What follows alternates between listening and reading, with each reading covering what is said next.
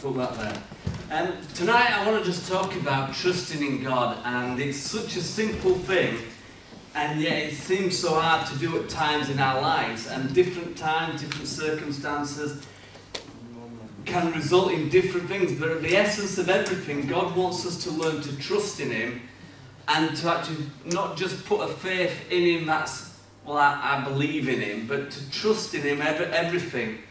And if there's a story in Joshua in the Old Testament, uh, Joshua 6, and you may be uh, quite familiar with this, it's when God says to Joshua, take all the Israelites into the promised land, and they came across Jericho, and God came up with this great idea, great battle plan, and told them to, to walk round the city for six days, and on the seventh day, walk round it seven times, but keep your mouth shut.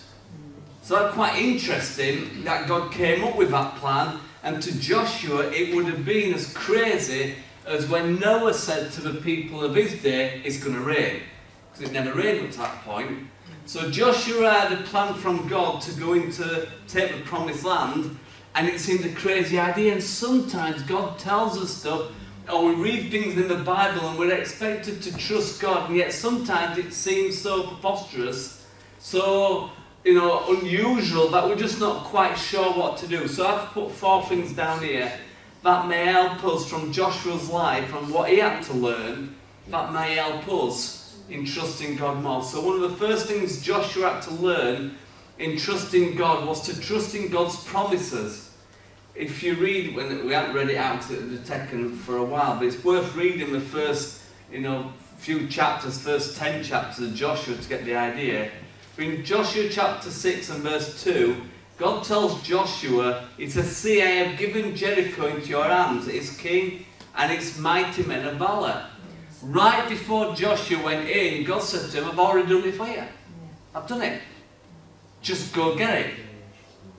Now, Joshua had a choice to make. Did he have to wait or did he want to go?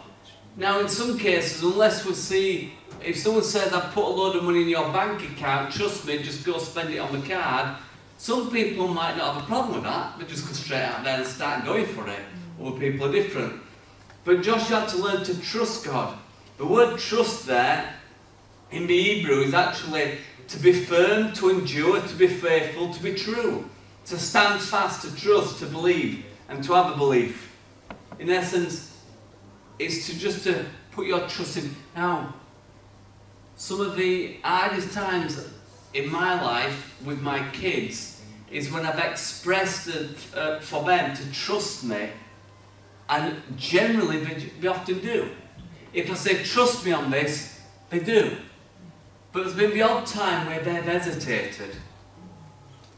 And only for a moment and then done it or whatever. But in that moment, when I felt they didn't trust me, it was kind of bizarre. Because they've not really done anything except hesitate. And yet, as an earthly father, it caused me concern. I wonder sometimes how much concern it shows to, it is to God when we start hesitating on His promises. You see, Hope's been rock climbing with me since she was the age of three and doesn't have a problem when it comes to rock climbing. She'll go up 35 metres uh, down in Brighouse, external wall, not a problem. She'll trust me. But other times when I say, trust me, and she won't jump a gap. it's like, you'll go so high trust me. And everyone's different, but God wants us to trust Him. He wants to trust in His promises. I was reminded uh, this week was something on UCB2 radio, and it was talking about songs that you used to sing at school or songs you used to sing when you was young in church. Now, in my school, we used to still sing, especially in, in junior school, and, a, and it really brought back to mind, not the songs they were playing, but a song that I actually do remember singing at school, and it's a song you may even know it, Oh Jesus, I have promised to serve you to the end. Be thou forever near me, my master, my friend. And it continues, but the open like, oh Jesus, I have promised to serve you to the end. And as I drive and listen to the radio talking about these things, I thought to myself, Jesus, I promised. This was before I was even a Christian. I promised to serve you to the end. And in that moment in my time, as, as the week was going, I was having the best of weeks, but I was having the worst of weeks, running parallel together. And I just reminded myself that I'd made a promise to God that I would serve him to the end, come what may. Joshua had to learn to trust in God's promises. The truth, uh, truth is actually the essence of God's nature. You know, God cannot lie. So if he cannot lie, his promises can be trusted. We read this in Numbers 23, 19. God is not a man that he should that, that he does not lie, or so that he does not lie. He's not a human being that he changes his mind.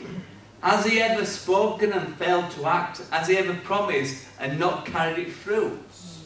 You see, some people promise stuff to us, I promise, not the, minute after it's by, but you've got a long list of people promising things, but you know they're not going to do it. I promise you I'll do it, and, you know, I promise I'll come back as he gets on the ship in the Navy. He's not coming back. I promise to love you to the end while he's got an eye on somebody else. It's all these promises, but yet God's promises stand through to the end. And then whatever he promises, he will always carry out.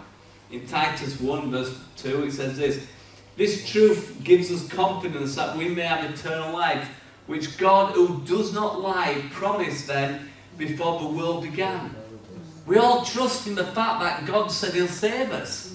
We're all trusting that there is an heaven beyond those sheets as have come down. We're trusting in God and the fact that he, will, he has saved us and that He's got a place for us. We trust in that. And yet, that's in the time to come. But God wants us to trust Him in the now. You see, to look for proof that we can trust in God's promises is to look back. Now, I know, I know this morning I told you a verse. Forgetting what is behind us, we push on. But I did say, didn't I? I did say, it's, you know, it's good to have a good testimony and to think of the good things God's done for us. We're not told to look back and re in regret, but we can look back in the good things God's got for us. In Joshua 1, uh, verse 2, Joshua would have remembered, God told him, He says, Therefore arise and go over the Jordan, you and all the people, into the land which I am giving to them, the children of Israel. Every place that your sole of your foot treads, I will give to you. Joshua would remember that God's already said, I've done it for you. It's good to remember all the good things that God's done for us. It keeps you going. When you're in a dark place, you need to look back and think, what has God done for me? What good things has He done for me? We need to count our blessings. That's an old song, isn't it? I'm not going to sing that one. Count me blessings, count one by one. It's a chorus from a hymn. But we sometimes need to be reminded to count our blessings. And there is a chorus that I used to sing, or when I used to lead worship. It says, I am blessed, I am blessed every day of my life, I am blessed. And it continues. Sometimes we need to remind ourselves that God's done some good things for us. And if God's done some things, good things for us, then we can trust in His promises. We can be assured of His promise. So Joshua had to learn to trust in God's promises, and we need to learn to trust in God's promises. The second thing Joshua had to learn is to trust in God's plan. His plan was always, you know, God's plan is always to our advantage. God's purpose in our life are always to our advantage. Well, God's plan may seem a bit, know, odd or a bit complicated sometimes. We need to just rest in the fact that He will always do what's best for His children. Some of the fathers are not like that, but God is. There's a verse in Isaiah 55 8, it says, My thoughts are not your thoughts, nor my ways your ways, says the Lord. Sometimes God does things and says things which are a little bit outside of our thinking. The old phrase, you need to think outside the box. God's always thinking outside the box. Yet when that verse is quoted in the New Testament, people say our thoughts, you know, God's thoughts are not our thoughts, and we don't really know what God's thinking. Well, actually, if you read a little bit further than that, he actually says that we can. God will actually let us know what his secrets and his thoughts are. In the Old Testament, people didn't know what God's thoughts were, but in the New Testament, we can learn God's thoughts. A great verse that we often like to hold on to. It's a great one, slightly out of context, I know, but Jeremiah 29 11 says, For I know the plans I have for you, declares the Lord. Plans, to, plans for a wholeness and not for evil. Plans to give you a future and a hope. God has got a plan for us. He's got a purpose for us. We looked at that this morning. And another cracking verse from Romans Romans 8 28, another verse I had this morning. It says, We know that in all things God works together for, for the good of those who love Him, for those who are called according to His purpose. Everything, if we trust in God, it will always work it around for our benefit and He'll always work it around for His glory. And sometimes we will think we've gone into a dead end. We'll think that, you know, I've been hurt, this, this situation's happened in my life. But in trusting God, God will always turn it around for, for His glory and for our good. God's plan as well in our life is never designed to exalt us. I think one of the reasons why God's plan seems so odd sometimes is so we can't take credit for it. Sometimes it's so simple or sometimes it's so complicated. Something God does in my life, it's so complicated, it's definitely not me. Because I can't think that far ahead. And yet sometimes it's so simple that we can just trust in God. God will never share his glory with anybody. And when the children of Israel went into to, to the promised land to go around Jericho, before the walls came tumbling down, he wanted the people to know they could trust him and what he said was true, but he wasn't going to share his glory. Joshua wasn't going to go on going, look what I just did. Was going to go, this is all God's. In fact, later on, uh, he got into trouble because he started trying to take things for himself. Another thing that Joshua had to learn and that we should learn to, to learn, learn to learn, is to trust in God's power. God's power is actually without limit. God is not like a battery that fades after a while. You see, you see people on the phone when the phone's dying, you can see panic starting to, I've got to charge it, I've got to charge it. It's like their entire lives just sucking away as that battery goes down. Or the tablet, but in the middle of something, the tablet's going down. It's like oh, almost it's the end of the world. I mean, if you're from my generation or above, we never had these batteries run out, but we did have the power would always seem to go out when you're watching a great film. And in those days, you couldn't record them. And if, especially if it's a decent film, once it, you know, once it was gone, it might not be around again for another six months. And the power would go out. God's not like that. God doesn't run out of power. And this is the amazing thing. If God's doing some great things on one side, some people think, well, God can't do it in my life because he's running out of power. A lady came out for prayer last week. It was quite interesting. So I says to her, I goes, what would you like prayer for? And she just looked at me and said, where should I start? I says, try the top and work to the bottom. I said, there's a lot of things wrong with you. She says, yes, a lot of things. I said, so what do you want Jesus to do for you right now? And she went, my knees are hurting my knees are hurting. I went, we can pray for that, but what about the rest? She says, well, I think God's busy. I mean, if you believe in God for your knees, you might as well believe for a lot, and yeah. So I says, forget that rubbish. I said, I'm going to pray top to bottom. How's that? She says, well, I'm not sure God can do it all. Well, it can either he can either do it all or not do any of it. To me, it's a full package. You get that. So I prayed for wholeness, and she, this is what made me laugh. She says, after I prayed for her, she goes, my knees are feeling a lot better. I goes, what about the rest of you? She goes, I'm not believing for that stuff. but she got a knee. I'm thinking, if you'd have if you'd have believed, if you'd just get your mouth shut, yeah. maybe. But hey, we're just going to trust in God. But God's power is without limit. In Psalms it says this, how great is the Lord his power is absolute. His understanding is beyond our comprehension. The message puts it this way. Our, our, our Lord is great with limitless, limitless strength. We'll never comprehend what he knows and does. God's power is limitless. I mean, any day, not only is he spinning the universe around and the planets and all the solar system, the galaxies and stuff like that, which is quite impressive. But in the Bible it tells us, tells us that he holds everything together. So that nucleus, that proton and neutron that's spinning around each other, this is chemistry for you. Nobody knows how these two atoms, in a sense, hold together. They're so tiny. If you blew them up to the size of tennis balls, one would be here and one would be at the back of the church, and that spins and that makes up an atom. You don't look too convinced.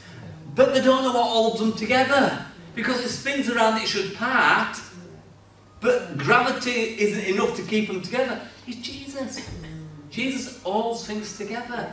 It's amazing when you really get into biology and, and microbiology, especially how you can see the fingerprints of God all the way on there. It's amazing. But we can trust in God. And His power, God's power, is actually personal. You know, well, God ultimately wins battles for us. He allows us the privilege of being partakers in it. He could just sort it all out for us. But He wants us to be involved in it. He wants us, first of all, to ask and talk to Him about it. But He also wants us to be involved in just believing and trusting in Him. There's a verse on the wall here. there it is. It says, I can do all things through Christ who strengthens me. I can do all things. Now, personally, you could say that I can do all things, and Johnny, I'll operate on your brain. I'm not going to let you do that. Because as much as you might believe that verse, there's certain things around it that God wants us to trust in Him and do the things He's asked us to do. In 2 Corinthians it says this, that we are confident of all this because of our great trust in God through Christ.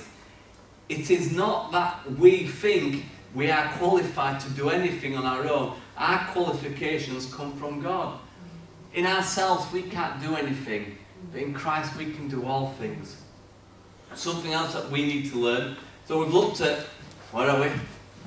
Joshua learned to trust in God's promises, but also Joshua learned to trust in God's plan. And then we've gone to another one somewhere around here, and I'll find it later on. We'll go to number four because I can't find number three. Okay, number four. Sorry, number three was he trusted in power. Number four was he learned to trust in God's provision. I think this is probably one of the most important ones. That we need to learn in God's provision. Mm. Because God just wants us to be there with Him. You know, obedience comes before provision. The people marched, were told to march around and not say a word. I think that's partly because God didn't want them gossiping, He didn't want them chatting, doubt and unbelief coming in. He just wanted them to be quiet, get on with it and do the job. But He just wanted to trust. But to God, obedience is the essential thing. He wants us to trust in Him and be obedient to Him. So when He says something, He wants you to do it. He wants you to obey Him because it's a sign that you trust in Him. You trust in Him. In Samuel, in 1 Samuel 15, 22, um, Samuel re replied, uh, What is more pleasant to the Lord? Burnt offerings and sacrifices. I'll pause there. For, because in the Old Testament, people used to think, as long as you bring in burnt offerings and sacrifices, it will pleasing to God. And even in the church today, people often think, as long as I'm doing something for God, He'll be happy. As long as it's costing me something, He'll be happy. If I'm suffering a little bit while bringing a sacrifice, God will be happy. But He says this, you know, what is more pleasing to the Lord, burnt offerings and sacrifices, or your, or your obedience to His voice? Listen, obedience is better than sacrifices, and submission is better than the offering of fats of rams. God's not bothered about what we offer Him if it's not in obedience. If it's not in obedience, God's not really impressed. You know, the reason why Cain and Abel had those issues is because Abel brought what God required, where Cain brought what he wanted to bring. And what Cain wanted to bring was his hard work. I've planted these seeds, I've grown these crops with help of watering and the sun, and I've brought these to you, God. And God said, I'm looking on that one with favour. I mean, a lamb Abel didn't do anything. By definition, the, the ram and the ewe did all the work, and then she did all the work. The lamb was born. All he had to do was look after it. He didn't have to really feed. It, he couldn't feed it. He just looked after it, and then he brought it to God as a sacrifice.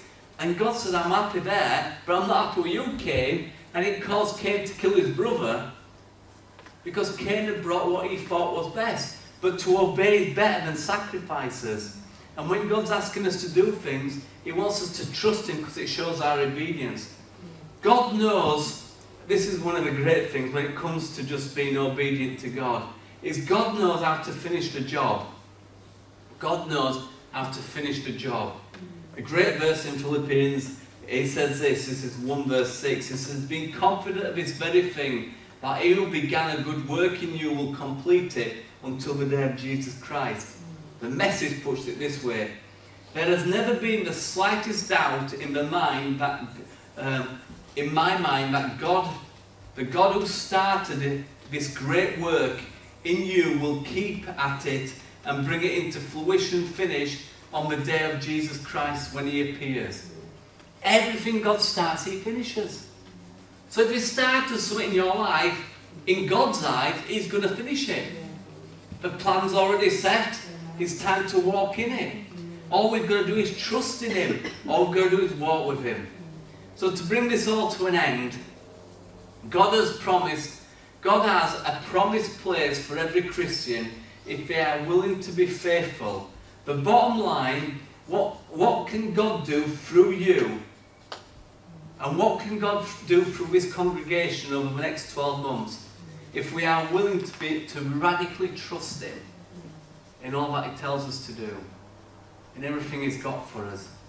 Hebrews 12, verse 1 and 2 is a great verse. It says, Therefore, since we are surrounded by such a great cloud of witnesses, let us lay aside every weight and the sin that so easily ensnares us, and let us run with endurance the race set before us, looking to Jesus, the author and finisher of our faith, who for the joy set before him endured the cross, despising its shame, and has sat down at the right hand of the throne of God. Mm. Let us look to Jesus, trusting in him, trusting in his power, in his provision, in his promises, trusting in everything that God's got for us. That's God's heart for us. He just wants us to trust Him. Mm. It's not complicated. Okay, God, I'm going to trust in you. The problem is that when you're banging your head against the wall because you can't work it out, that's usually a good time to go. Throw that prayer and go, God, I'm going to trust in you. That's not an excuse to do nothing. But it is a good case for us to say, God, I'm just going to throw aside the weight and everything else that ensnares me and I'm going to trust in you. Amen. Amen.